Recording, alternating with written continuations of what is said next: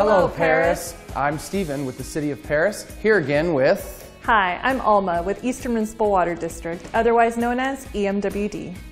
And we are back with another video in this short series to inform the community about a very important update we are all working collaboratively on. As mentioned in the first video, EMWD and the City of Perris are working in partnership as part of a consolidation process where EMWD will eventually acquire water and wastewater services for more than 4,000 customers currently served by the city's water and sewer division. Now, a big question is who is affected? This change is for residents and businesses in the downtown and North Perris area. Mailings have been sent out to those who will be impacted. We also recently hosted two community meetings in the middle of the affected areas. We appreciate those who are in attendance.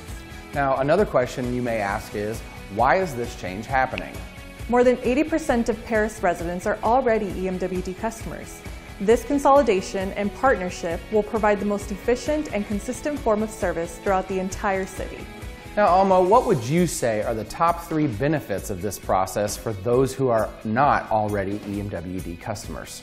The top three benefits for those transitioning to EMWD system will see an upgraded billing system with timely and accurate billing that takes place each and every month, access to more customer-focused programs including payment assistance and programs that assist customers with reducing outdoor water use, and finally, increased water supply reliability thanks to EMWD's long-standing commitment to delivering safe and reliable services for nearly 75 years.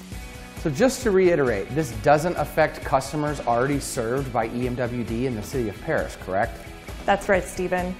Those who are already existing EMWD customers will see no financial impacts or changes in their levels of service as a result of this process. That's great to hear. So, what's next? It is estimated that the impacted City of Perris customers will become EMWD customers in fall of 2024. Tune in to our next video where we will dive deeper into these benefits. To learn more about the consolidation of the City of Perris water and sewer system to EMWD services, please visit our website at cityofperris.org. or at emwd.org forward slash Perris dash consolidation.